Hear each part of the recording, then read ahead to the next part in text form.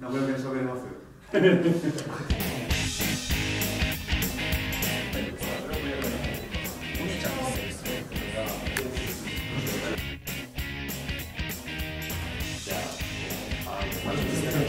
試合できる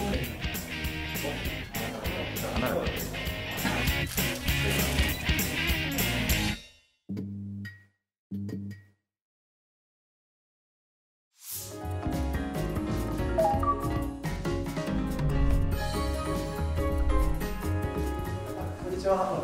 こんにちは。こちらになります。よ赤木吉田ですよありがとうございますろしくお願いします。お願いしますまずは。何よりも全国大会で優勝ですからね立派な偉業を成し遂げています素晴らしいと思います本当におめでとうございます3年生の田代ですよろしくお願いしますおめでとうございます3年生の藤田智ですお願いしますおめでとうございます3年生の松原大輝です。お願いします。おめでとうございます3年生の時田海斗です。お願いします。おめでとうございます2年生の吉田茂です。よろしくお願いします。おめでとうございます2年生の末田です。お願いします。おめでとうございます2年生の岡本先輩です。おめでとうございます2年生の木津宏斗です。よろしくお願いします。おめでとうございます。でも皆さんどうしてですか？寮ですか？柔道部。両生でやって。どのぐらい？寮は半分ぐらい？一番遠くから来てる人ないかな。俺は遠くから来たぞ。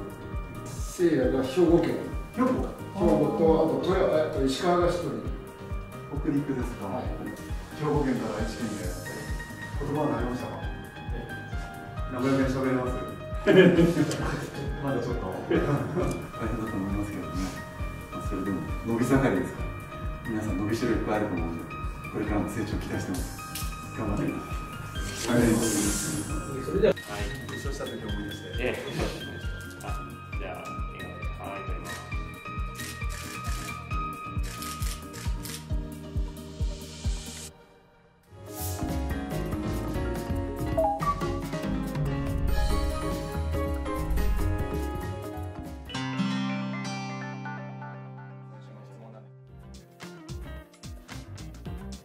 えっと、ずっとこのチームで全国大会優勝するってことが目標だったので優勝できて本当に良かったです。やっ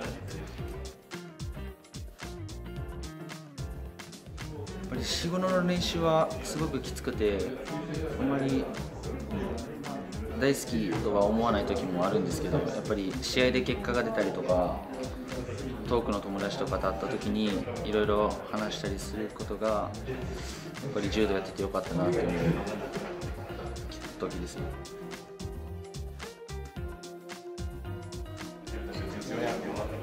やっぱりチームワークです。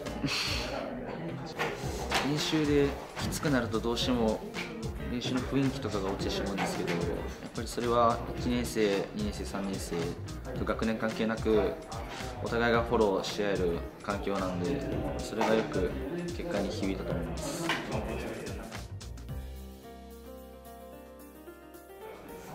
食事の面ではやっぱりお肉とかそこら辺のタンパク質っていうのは大事だと思うんですけどやっぱり自分自身はすごい白ご飯を大切にしてて体のエネルギーになるのは炭水化物ってよく言われてたのでそれは大切にしてました。もうもりもり。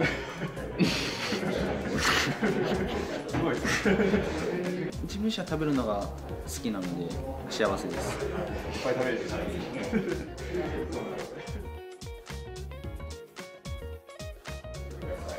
当に大きい目標なんですけど高校1年生からまあインターハイと選手権で優勝することが目標ですぜひその目標に向かって、えー頑張ってくださいありがとうございました。ありがとうございました